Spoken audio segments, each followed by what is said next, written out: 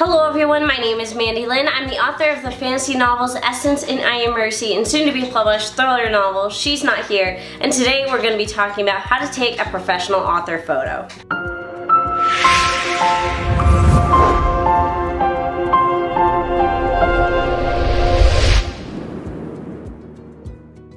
So why do you need a professional author photo? Well, first of all, there's gonna be instances as you explore your author career that you will be doing blog interviews and different things where people are gonna be asking for your headshot and you wanna have that easy on hand so you can give it to them.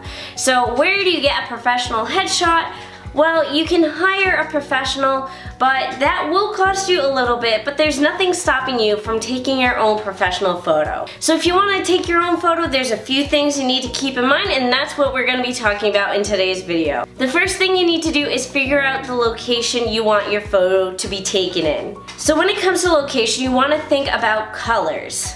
So when it comes to colors, I'm just gonna talk about my professional headshot. Here it is. You can see that the colors are kind of neutral. The background is neutral. I'm wearing a blue blouse and you know, things are just kind of cohesive. Now let's look at my previous author photo where the background was really green. This is a great photo. However, if you know me, my author branding is blue, gray, pink, and purple. So, with my old photo, it does not look right. With my new photo, it still has that same branding. So it's really great to take awesome photos outside, but if those photos don't go with your author branding, but if the photo you end up taking doesn't match your author branding, then you're not as cohesive. And it's great to have a co cohesive platform as an author. So for that reason, for my new author photo, I did not take my photo outside because I didn't want the greenery. I wanted something neutral and cozy, so, which is why I chose to take it inside.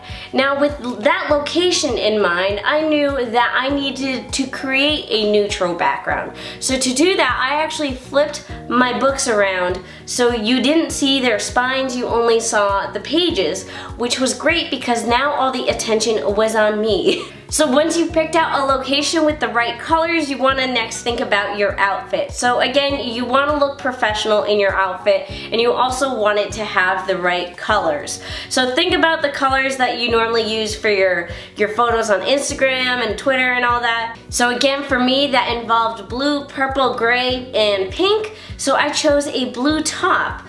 And if you notice, I'm also sitting on a purple chair, so it fits my branding perfectly. Lastly, maybe the most important part of your photo is the lighting. If you don't take your photo in good lighting, it will end up grainy and not crisp. And you need a crisp photo because sometimes you may have to blow up your author photo and if it's not good quality, it's gonna look fuzzy. So if you're taking photos outside, it's really easy to get good lighting, but if you're taking photos inside, you need to be a little bit more aware of your surroundings. If you don't have professional lighting that you can kind of set up behind your camera to help light up your face, you will need to keep in mind where the windows are. So you want to take a photo near a window so the light is hitting your face and doesn't give you any weird shadows. You want the lighting to be even. If you have good lighting, you don't even really need to worry about having a fancy camera. When you have good lighting, honestly, the phones these days take really awesome photos if they're in the right lighting situation. So when you're taking your photos, make sure you take a ton of photos, do a few different poses, maybe even try out a few different outfits so you have options. And then once you take all your photos, you wanna upload them onto your computer and kind of start going through them to see how they look. You wanna choose your absolute favorite and you can only choose one.